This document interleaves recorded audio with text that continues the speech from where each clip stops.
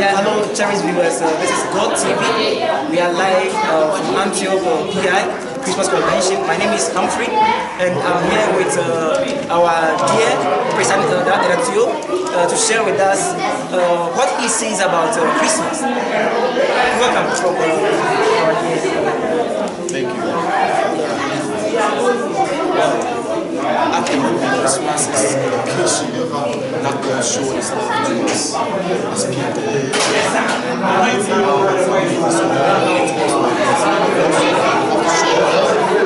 love to other people, our brethren,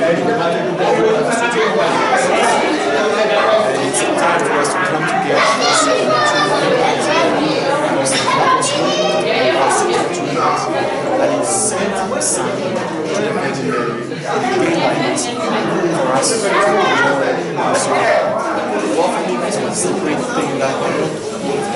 it no matter what it is. Wherever I am, I will You, you will never want to miss Christmas. And um, how has Christmas affected your life, your social life, and your Christian life?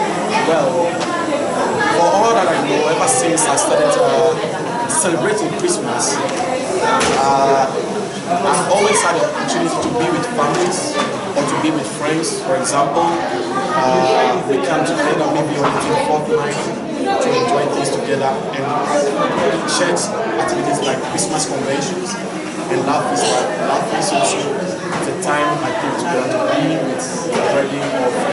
And uh, this year, well, I'll, I've been at church convention, I'll be at the love feast also, and later on I think I have a program with friends on the way out also in the name of Christmas to celebrate the birth of Yeah, that is uh, our dear elder. Uh, going forward, what are the things you think you want to do in the next coming year Wow. As for the a- church and for yourself? as a presiding elder, my biggest dream or what I am planning on getting from next year is what I worship in the church. That is the biggest dream that. And also, the spiritual life of the church should grow, whereby you don't have to force people to be doing things of God, but they themselves, because they have encountered love, encountered tonight.